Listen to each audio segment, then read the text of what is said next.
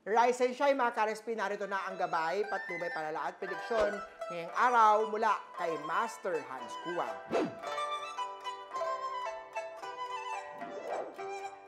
Para sa mga pinanganak ng Year of the Rat, mag-ingat sa pakikipagkaibigan, karelasyon o business partner man.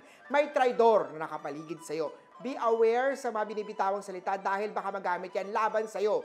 Black at 8 ang swerte kay Year of the Rat. Kapag nasasaktan o may mga problemang dinadala, always remember that it's okay to seek help of good friends. Huwag suluhin ang mga problema. Magsuot ha ng mga protection para sa 5 yellow Miss Fortune Star.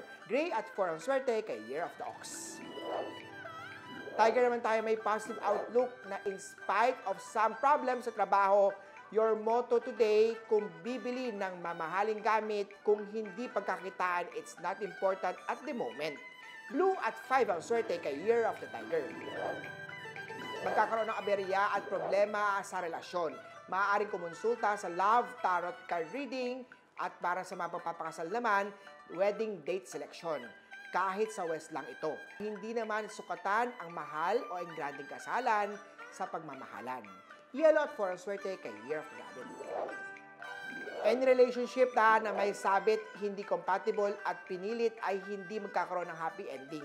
Sa mga dragon, green at 4 ang swerte kay Year of Dragon.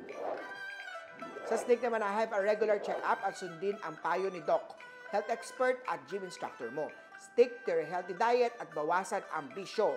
Red at 9 ang swerte kay Year of the Snake. Sa Year of the Horse naman na ang buhay ay parang siso. Maraming mga ups and downs. Sigurado nyo laging focus sa mga goals. Yellow at 2 ang swerte kay Year of the Horse. From rags to riches and back again. Simot ang sahod pero may papalit din.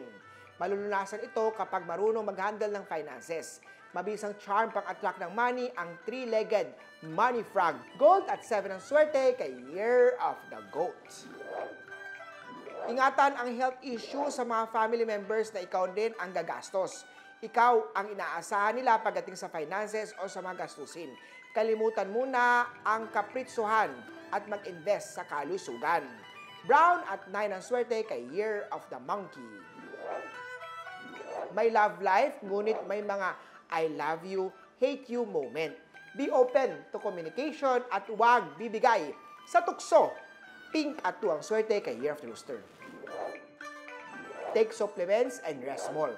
Huwag baliwalain ang common colds, cough, baka lumala ito. Red at 1 ang swerte kay Year of the Dog. Be extra cautious o careful naman at baka magkaroon ng unplanned pregnancy lalo kung hindi mo pa siya asawa. Purple at 3 ang swerte kay Year of the Piggy. Huli po, ito po yung mga gabay, patubay, palala at prediction lamang ni Master Hans Kua. Nasa inyong mga kamay nasa lalay ang inyong tagumpay. Kaya always be positive at i-claim ang mga swerte mga ka-RSP.